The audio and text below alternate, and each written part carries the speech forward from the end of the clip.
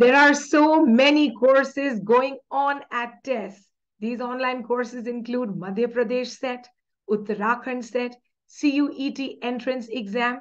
Then there is Karnataka set. And of course, the main NET exam. Preparation for these is full on.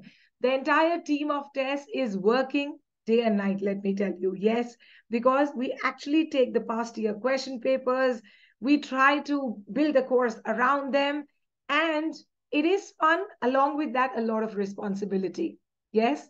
Now, if you feel you want to join our online courses, you can contact us right now on the number 93878 39871. And of course, there is a net model test series, which means you will get only question answers, which will help you to prepare better. Okay, so you can choose right now. And today's capsule is The Remains of the Day. You know who has written this novel? Of course you do. It is Kazuo Ishiguro, the man on the screen. Well, The Remains of the Day was published in 1989 and it won the Man Booker Prize in the same year. Kazuo Ishiguro was born in Japan, but he moved to England at an early age. He was born in the year 1954. About the remains of the day. The theme of this novel are class difference, how there is aristocracy and then there is the lower class, how the lower served the upper during that time, World War II, loyalty, regret, and the narration is first person because there is a butler with the name Stevens. He tells the story of his past. He is the narrator. He actually reminisces. You know, believe me, the entire story, what I felt after reading it is even if something is happening with him at present, he thinks about it and tells us in the novel. Okay? So, chale, start kare the summary of the remains of the day. Stevens, the butler, is preparing to take a road trip through the English countryside on the insistence of his new employer, an American named Mr. Farraday. This might be his first holiday in over 30 years. He works at the Darlington estate. Before Mr. Farraday, Stevens served an English aristocrat, the late Lord Darlington. First hesitant, Stevens finally decides that yes, he will take the trip. It will give him the chance to pay a visit to Miss Kenton. Now, who is Miss Kenton? She used to be the Darlington Hall's housekeeper, but she left her job and married Mr. Benn. So did you understand till here? ये जो Buttler है Steven इनके जो नए employer है mister Faraday वो कह रहे हैं कि क्या तुम इतने सालों से इस एस्टेट में काम कर रहे हो? बिना छुट्टी के। जाओ जाओ, अभी छुट्टी ले take my car go and Steven is like I never taken an off you know his past employer Lord Darlington उनके घर में इतनी मीटिंग्स होती थी। He was an aristocrat an important person people used to come and go And pura service car responsibility was on Stevens. Okay. But then he agrees because he wants to meet Miss Kenton. Okay. Now, on his first day of travel, Stevens appreciates the English scenery. He also reflects on what it means to be a great butler. For example, just like his father, Stevens Sr., who embodied the dignity of the butler profession. Now, the next day of Stevens' travel, Stevens wonders whether or not Miss Kenton, who after marriage is addressed as Mrs. Benn, will actually agree to return to Darlington Estate now, why does Stevens think that Miss Kenton will return to Darlington Estate? Because he recently received letters from her in which she seemed unhappy about her marriage. And also, she was very useful to the estate. He actually first met Miss Kenton in the year 1922, and she immediately proved to be very headstrong, very determined, okay, in her profession. She was very efficient, basically. Yes, now, after this, Stevens is on the road trip. He's remembering, he's remembering things. So he remembers a night when he maintained his dignity and duty as a butler to Lord Darlington. Listen to this story. How did he maintain his dignity? Lord Darlington and his friend, Sir David Cardinal, invited a number of important people to Darlington Hall, in an attempt to ease sanctions against Germany after World War I. This was an unofficial meeting, okay? And the important guests were M. DuPont from France and an American senator named Mr. Lewis. But things did not go as Lord Darlington expected. Now, around this conference, Stephen Sr., that is the papa of Stephen, became severely ill. And they lived in the same house, obviously. So Stephen Sr. lived up while the estate was down.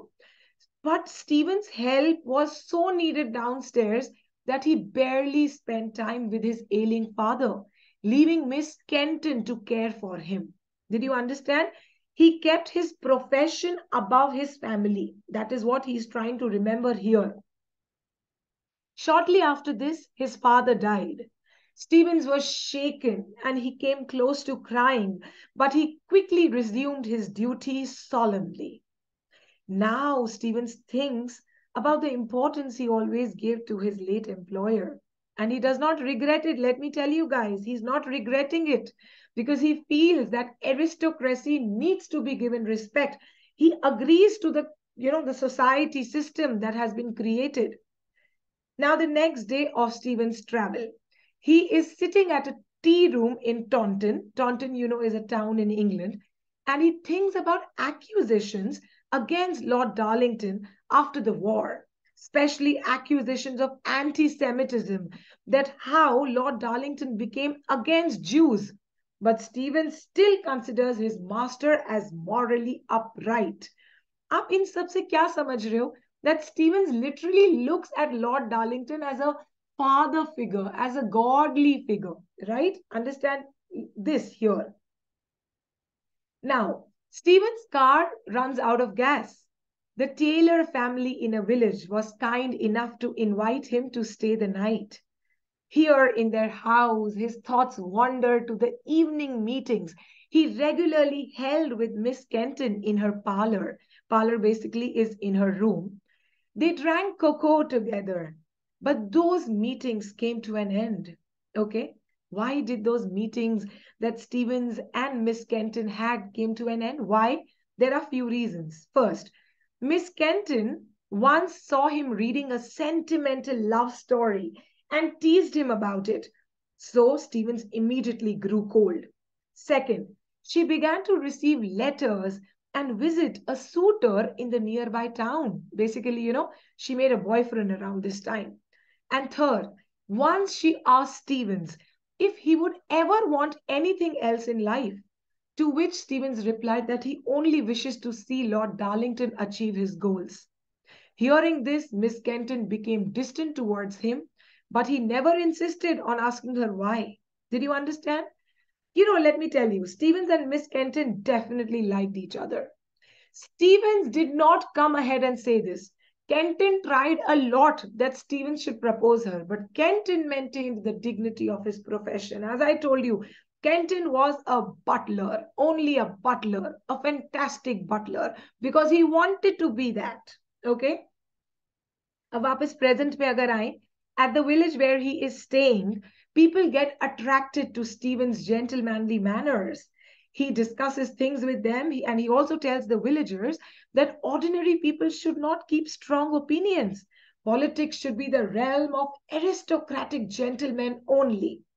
are you understanding his mindset? Yes? Now, the next day of his travel is the most important because he has a meeting with Miss Kenton after so many years in a hotel called as Rose Garden Hotel.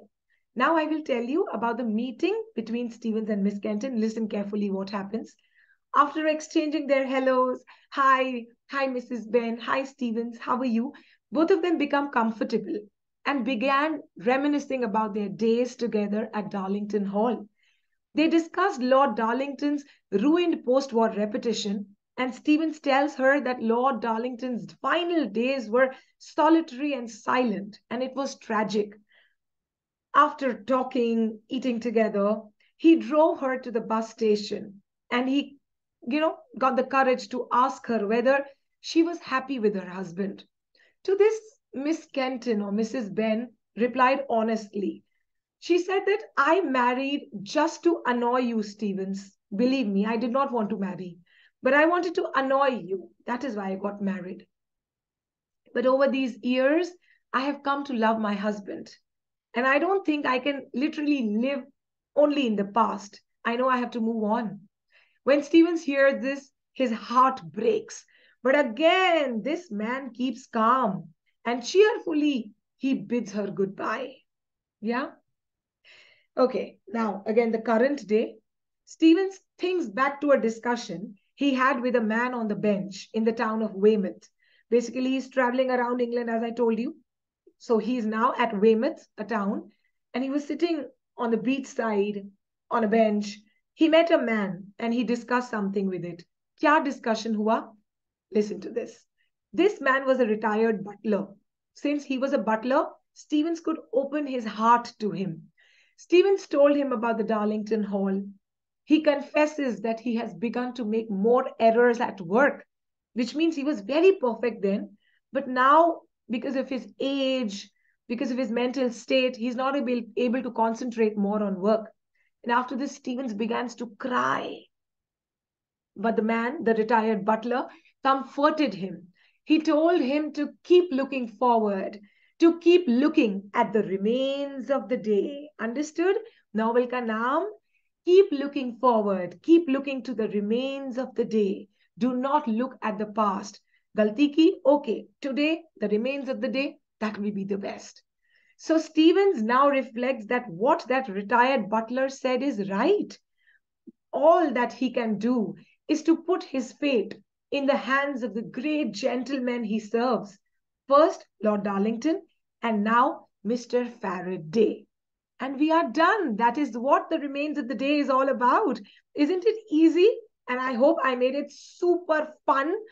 Easy for you. Let me tell you, easy. Okay. You should really remember what we spoke around this time. Yes. Thank you so much. This is Hina from Team Test. Keep coming to our channel and of course subscribe to it if you haven't and share it with your friends and relatives. Bye.